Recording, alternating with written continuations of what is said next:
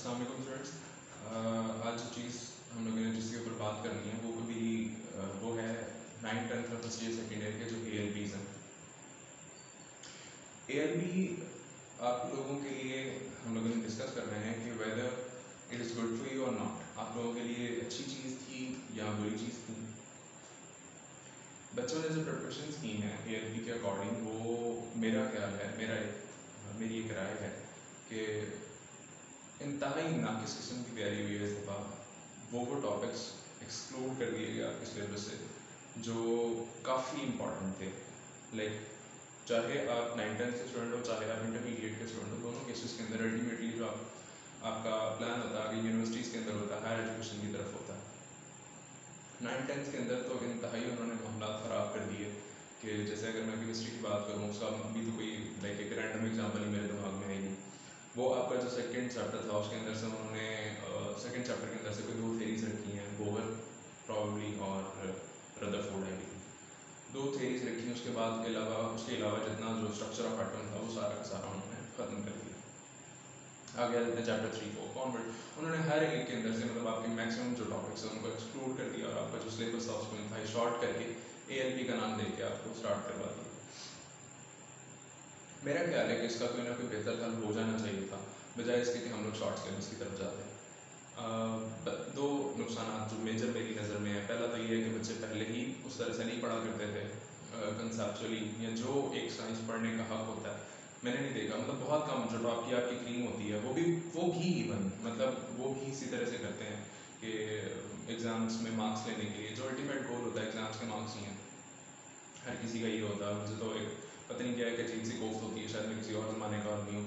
आप लोगों को ऐसे ही लगता है। हर बच्चे को मैं बच्चों को मैं यही कहता हूँ, पता नहीं किस तरह से पढ़ते हो शॉर्ट पर्सन में निशान लगा दें, यहाँ से लेके यहाँ तक शॉर्ट याद करना है यहाँ से लेके यहाँ तक लॉन्ग याद करना तो मुझे ये चीज़ें ज़रा एनाई करती हैं। बुरा लगता है। अजीब होता है। ना तो मैंने कभी इस तरह से पढ़ा, ना मैंने ख्याल है कि तरह से पढ़ना चाहिए। तो प्रोडक्टिविटी नहीं है ना क्रिएटिविटी नहीं है ज़ीरो हो जाती है उस वजह से। आप लोग सिर्फ़ एक एग्ज़ाम की हद तक, एक शॉर्ट टर्म बेनिफिट की हद तक महदूद हो जाते हैं और लॉन्ग टर्म में आपको कुछ भी नहीं पता होता। और बहुत ज़्यादा नुकसान देती हैं ये सारी चीज़ें।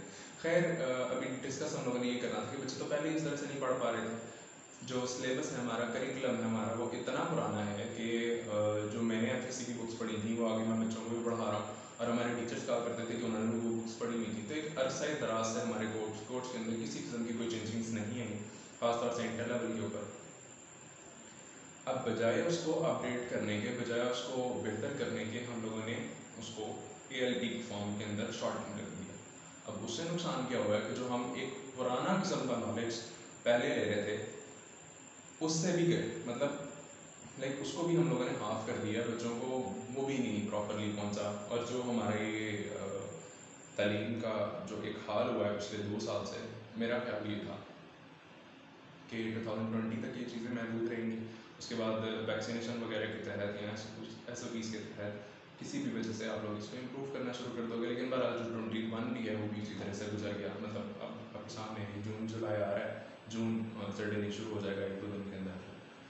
और फिर इसी तरह से ख़त्म। ये मतलब ये साल उसी तरीके से तकरीबन ज़ाया हो गया दो साल से तकरीबन हमारा जो मामला था बहुत ज़्यादा ख़राब है। इन चीज़ों को बेहतर तौर पर हैंडल किया जाना चाहिए था। ख़ासतौर से एजुकेशन के हवाले से मैं बात करूँगा तो इसको online education is a solution अब मैं तो यही कहूँगा कि ये वाकई ही में एक सोल्यूशन है। हम लोगों ने सिर्फ़ और सिर्फ़ एक बहाना बनाया हुआ है कि ऑनलाइन पढ़ा नहीं जा सकता या ऑनलाइन क्लासेस नहीं हो सकती। या इवन इवन बल्कि अगर आप स्टूडेंट्स की साइड से भी देखो तो किसी हद तक उसको उनको जस्टिफाई करते हैं वो लोग कि टीचर्स को भी प्रॉपरली ट्रेनिंग नहीं है कि किस तरह से उन्होंने इस्तेमाल करना है टेक्नोलॉजी को या बहुत सारी चीज़ों आपने देखा अलहमदिल्ला मुझे इससे कोई इशू नहीं आया प्रॉब्लम नहीं आया। पहले जब लॉकडाउन लगा था टू थाउज़ेंड ट्वेंटी वाला तो उसके अंदर भी हम लोगों ने प्रॉपरली जूम क्लासेस की थी और उनका वीडियो सबूत लाइक जितनी भी जूम क्लासेस होती थी, वो मौजूद होती थी यूट्यूब के ऊपर, मेरे चैनल के ऊपर चली जाया करती थी क्लास बहुत ज़्यादा एक पॉजिटिव चीज़ है, एक अच्छी चीज़ है ऑनलाइन क्लासेस नो डाउट इसके अंदर इश्यूज़ आएँगे, लेकिन अगर इसको अच्छे तरीके से इस्तेमाल किया जाए तो इसको यूटिलाइज किया जा सकता था। मतलब जब हम लोगों ने जूम क्लासेस की थी के क्या इश्यूज़ आ सकते हैं। किसी को आवाज़ नहीं पहुँच रही होगी किसी के घर का इंटरनेट कनेक्शन नहीं आ रहा होगा। बच्चों को तो इस किस्म के मसाले थे ना अब उनको सॉर्ट किस तरीके से किया जा सकता था? और किया था, मैंने किया था।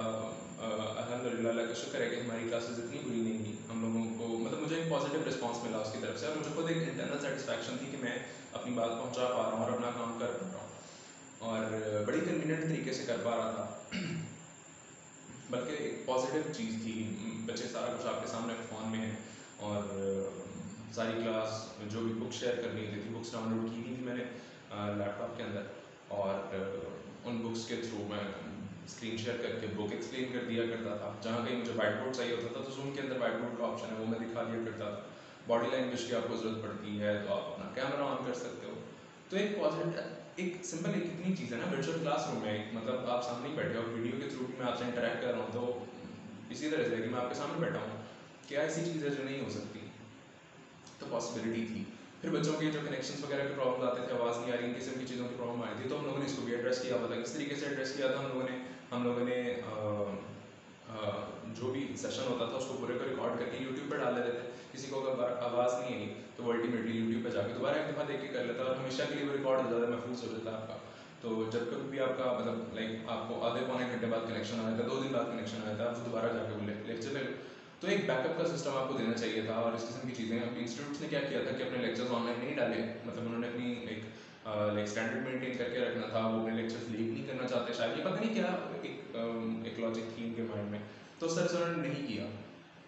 सो ऐसा नुकसान हुआ काफ़ी सारा। तो बच्चों को भी उस तरह से सेटिस्फैक्शन नहीं मिली, लेकिन जो कोविड से हम लोगों ने सीखा था, हम लोगों को ऑनलाइन शिफ्ट कर जाना चाहिए था अब तक। लेकिन बहरहाल नहीं कर सके वो एक अलग बात है। तो बात कहाँ से कहाँ चली गई? बाद में ये कह रहा था कि जो पी है उसके अंदर आपके सिलेबस के अंदर से जो इंपॉर्टेंट टॉपिक्स हैं, उनको ख़त्म कर दिया, अब इसका नुकसान क्या होगा? जो मैट्रिक वाले बच्चे हैं, एक स्टेज है ना लर्निंग की। आपको जो कोर्स था, वो इस तरह से डिज़ाइन था पहले मतलब डिज़ाइन क्या था? काफ़ी अरसे से वही चल रहा था कि जो मैट्रिक की चीज़ें रह जाया करती थी मैट्रिक में बेस बन जाया करती थी कॉन्सेप्ट की, जो अच्छे तरीके से पढ़ रहे थे, जिन्होंने तो निशान लगाना उनके लिए तो कुछ भी दे दो, उसका तो कोई मसला नहीं है ना। तो जो मैट्रिक वाले बच्चे हुआ करते थे, वो बेस से थोड़ा बहुत समझ लिया करते थे, और फिर अल्टीमेटली उसको आप उन्हीं चीज़ों की बेस के ऊपर रख के कुछ चीज़ें बढ़ा के एग्जैजरेट लाइक एक्सप्लेन करके, वो आप फ़र्स्ट ईयर सेकेंड ईयर के अंदर ले जाते थे, और फ़र्स्ट ईयर सेकेंड ईयर की बेस के ऊपर जो बंदा सब्जेक्ट चूज़ करता था मेडिकल ले लिया आपने इंजीनियरिंग ले ली, उसकी बेस के ऊपर ही फिर आपको आगे स्टेप बाय स्टेप आगे ले जाया जाता था। लेकिन हुआ क्या है कि अब आपको बहुत ज़्यादा सारी प्रॉब्लम्स आने वाली हैं अगले चंद सालों के लिए। किस तरह से कि जो मैट्रिक वाले इंटर के अंदर आएँगे, अब इंटर के अंदर एक माइंडसेट होता है टीचर का पढ़ाने का, वो अपने हिसाब से लेके चल रहा होता है कि बच्चे ने ये सारी चीज़ें पढ़ ली हैं। बेसिक्स के ऊपर तो सर्टेनली कोई नहीं ना जाएगा। तो अब बच्चे का माइंडसेट उस तरह से नहीं डेवलप हुआ हुआ लेकिन टीचर का एक माइंड बना हुआ है तो ये एक जो गैप आएगा, ये बहुत ज़्यादा प्रॉब्लम क्रिएट करेगा। और इससे भी ज़्यादा जो प्रॉब्लम क्रिएट करेगा, वो आएगा यूनिवर्सिटी स्टूडेंट्स के लिए जो बच्चे यूनिवर्सिटी चले जाएँगे यूनिवर्सिटीज़ के अंदर जाके टीचर का एक माइंड बना होता है सर्टेनली प्रोफेसर का एक माइंड बना होता है कि बच्चों ने ये सारी चीज़ें पढ़ी हुई हैं, ये सारी बातें पता होंगी बच्चे पिछली एफ़ करके यूनिवर्सिटी के टीचर्स के स्टैंडर्ड्स पर पूरा नहीं उतर पा रहे थे, पहले दो तीन सेमेस्टर्स के अंदर बच्चों को इस किस्म की प्रॉब्लम्स फेस करनी पड़ती थी।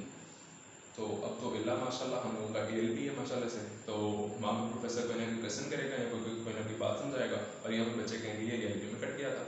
सो so, एक बहुत ज़्यादा गैप क्रिएट होने वाला है। तो इसके लिए एक जो सजेशन है जैसी बात है कि हम लोगों को प्रॉब्लम आइडेंटिफाई करने का तो सिंपल नहीं है ना हम लोगों ने इसका कोई ना कोई सोल्यूशन भी देना है। सोल्यूशन इसका ये है कि अब आप लोग जब टाइम आ गए सर्टनली जो एफ़ एस सी वाले बच्चे हैं उन्होंने एम कैट वगैरह के लिए ऑप्ट करना है। ई कैट के लिए ऑप्ट करना डिफरेंट यूनिवर्सिटीज़ के अंदर एडमिशन के लिए तो उसके अंदर अपना सारा का सारा जो कोर्स है, उसको रिवाइज करें।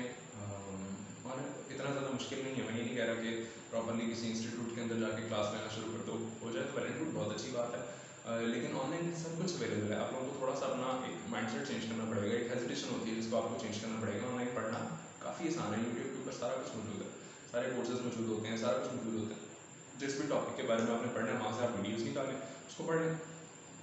फिर आप अगर स्लाइड शेयर के ऊपर जाएँगे, वहाँ पे आपको बहुत सारी स्लाइड्स मिल जाती हैं। स्लाइड्स के थ्रू पढ़ सकते हैं। पीडीएफ के अंदर मटीरियल मौजूद है। हर चीज़ मौजूद है इंटरनेट के ऊपर। जब आपके हाथ में एक फ़ोन आ गया, उसके साथ एक इंटरनेट कनेक्शन अटैच है तो इसका मतलब आप कुछ भी कर सकते हैं। लेकिन दुनिया की किसी किस्म की कोई इन्फॉर्मेशन कोई ना कोई नॉलेज जो कुछ भी आपको चाहिए, वो आपको इजीली अवेलेबल है। तो अपना बहाना थोड़ा सा ये छोड़ दें। और थोड़ी सी मेहनत की तरफ़ आ जाए वरना आपके लिए फ्यूचर के अंदर बहुत ज़्यादा डिफिकल्टी होने वाली है। इवन जो नाइन टेंथ के स्टूडेंट्स हैं, उन्होंने भी इस तरह से ए के थ्रू ही पढ़ा तो अल्टीमेटली उनको एफ़ के अंदर जाके प्रॉब्लम होगी, लेकिन फिर भी एफ़ का जो एक लेवल है मतलब आमतौर पर हम लोग मतलब जो टीचर्स प्रोफेसर पढ़ा रहे होते हैं, वो किसी हद तक समझ जाएँगे कि बच्चों ने नहीं पढ़ा हुआ है शायद थोड़ा बेसिक लेवल के ऊपर आ जाए, या कोई प्री कोर्सेज वगैरह करवा दें किसी तरीके से किस तरह से मैनेज करते हैं आई डोंट नो के अब क्या चलेगा लेकिन बहरहाल मेरा ख्याल है कि ये एल का जो मामला था, ये कोई इतनी अच्छी चीज़ नहीं थी।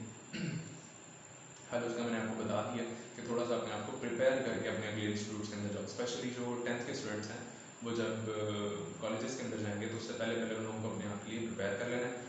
और जो एफ़ के स्टूडेंट्स हैं, जिन्होंने आगे यूनिवर्सिटीज़ के अंदर जाना है तो अपने पर्टिकुलर सब्जेक्ट्स के अंदर थोड़ा बहुत मतलब जिस तरह से अगर लेट से किसी ने बी एस केमिस्ट्री की तरफ़ जाना है तो वो अपनी केमिस्ट्री इंप्रूव करके, किसी ने अगर फिजिक्स की तरफ़ जाना है, बाकी भी देख ले थोड़ा बहुत, लेकिन जो आपके मेजर सब्जेक्ट्स होने वाले हैं जहाँ पे आपको एक्सपर्टीज़ हासिल करनी है, जो भी आपने अपनी फ़ील्ड ऑप्ट करनी है, उसके मुताबिक जो आपके सब्जेक्ट्स का एक है लाइक सेट उसको अच्छे तरीके से आप इम्प्रूव कर तो आप उनकी काफ़ी हद तक प्रॉब्लम सॉल्व हो जाएगी। तो अब तक के लिए इतना ही। Thank you so much Allah half